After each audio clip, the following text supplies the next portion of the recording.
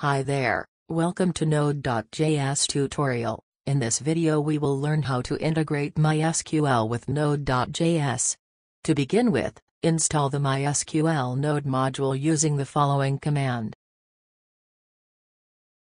First step create a file name mysql setup.js in the current directory. Next import the MySQL module. Step 2 Create MySQL connection using create connection method.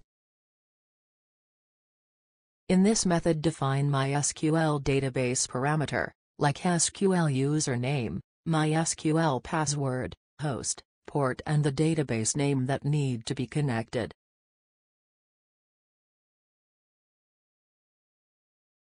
Once connection object is defined, next we will create a SQL query. Then using the connection object, pass the query, and add a callback. With error and the result. The result consist of number of rows, that fetched, check the callback for any error, if exists then throw it back otherwise, log all the result in the console.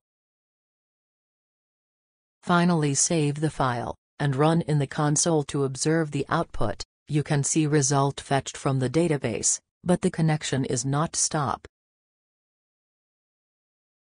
Finally end the connection or destroy it and rerun the same program again.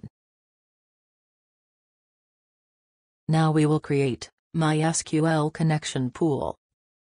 First step will be, using create pool method instead of create connection, and use the same database parameter.